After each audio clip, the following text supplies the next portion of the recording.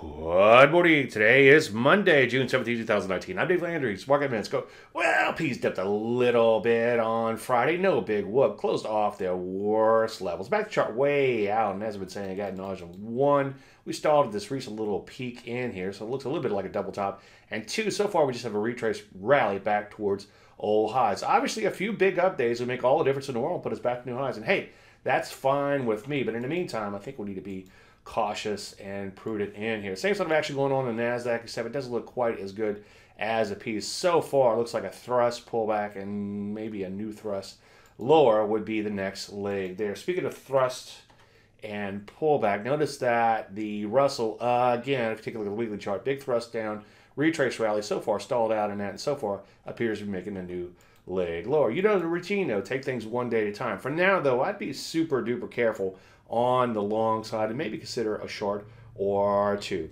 Any questions, as usual, Dave at DaveLandry.com. I'm Dave Landry, and you start walking in there.